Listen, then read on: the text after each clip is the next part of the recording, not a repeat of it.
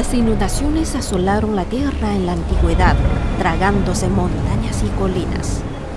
Kun, descendiente del emperador celestial, incapaz de presenciar el sufrimiento de la humanidad, resolvió calmar el diluvio.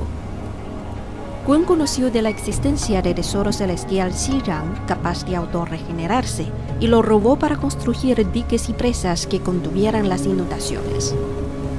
El emperador celestial se enfureció al descubrir el robo de Shirang y envió al dios de fuego Zhurong a matar a Kun en el monte Yu. El alma de Kun perduró pese a su muerte y su cadáver permaneció intacto durante tres años.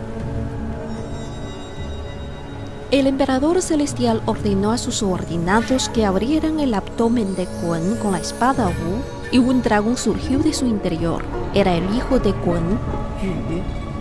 Yu se transformó en humano y pidió al emperador celestial que Shirang controlara las aguas. El emperador celestial accedió a su petición y envió a Yinglong un dragón alado para que le ayudara. Yu creía que limitarse a represar las aguas no era una estrategia acertada, así que ordenó a la tortuga gigante que transportara y enterrara a Shirang mientras Yinglong utilizaba su cola para excavar nuevos canales fluviales, desviando el diluvio hacia el mar del este. Viajando a través de los reinos, Yu llegó finalmente a Río Amarillo. Sus violentas corrientes y los complejos terrenos circundantes hicieron que las acciones de Shirang y Yinglong resultaran ineficaces. Yu atravesó montañas y valles para encontrar una cura a la raíz del problema. El dios del río amarillo, Hepo, se sintió conmovido por los esfuerzos de Yu y le otorgó un mapa del río. El venerado dios Fuxi, impresionado por Yu, le ofreció una tablilla de jade para medir las vastas tierras. Resultó que el río amarillo estaba obstruido por las montañas Longmen, lo que provocaba una inversión de las aguas. Usando su fuerza divina, Yu partió en dos las montañas Longmen, permitiendo que las aguas fluyeran entre los acantilados, calmando la crisis.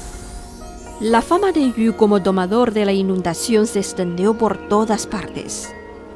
El zorro de nueve colas trajo un presagio auspicioso, propiciando el matrimonio entre Yu y la mujer Nijiao de la familia Tushan. Los dos se enamoraron a primera vista, pero Yu dio prioridad a su deber sobre sus asuntos personales y se despidió de su esposa solo cuatro días después de su boda para continuar con sus esfuerzos de control del agua. El demonio del agua Zhiqi, subordinado al dios del agua Gong, causó estragos en los y Wo, provocando inundaciones masivas alrededor de las montañas Tongbai. Yu reunió a los dioses y capturó a Zhiqi, desviando las aguas hacia el océano. Enfurecido por la captura de Gong Gong levantó tempestades y tumultos, Yu, al frente de los dioses, se enfrentó a Gong Gong y lo derrotó. El subordinado de Gong Gong, Xiang Liu, con un cuerpo colosal en forma de serpiente y nueve cabezas, intentó robar comida a la gente. Yu dirigió una campaña para matar a Xiang Liu, llevando la paz a las llanuras centrales.